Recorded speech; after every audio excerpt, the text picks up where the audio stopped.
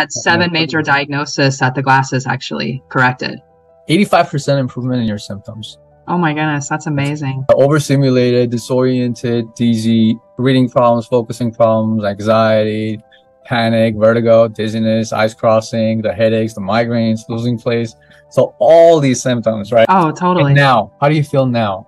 oh, a thousand times better. I mean, I talked to, I mean, I have four friends and everybody has heard me talk about BVD like left and right because it's been completely life changing. I mean, I spent thousands of dollars doing neurofeedback. And the very first time I put my glasses on, it was like my brain was a completely different brain. Nobody could believe it. Because, you know, how do people know that I'm not just trying to sell these things? And also, it's so difficult to believe that a pair of prescription glasses can get rid of a panic attack or a migraine or, or you know, vertigo, all these other diagnoses that the only way to treat are psychiatric medications. Oh, totally. No, I really thought, like, I mean, I, I think I was diagnosed with ADHD, uh, dyslexia, and this was all just recently, like all within the past year. That uh, audio processing disorder, mm. anxiety, depression, like literally all completely lifted. And if you know anything about neurofeedback, it's like $150 per session. They do two sessions at a time, so it's like $300. And so I did 20 sessions. So if you can imagine how much uh, that costed. Expand.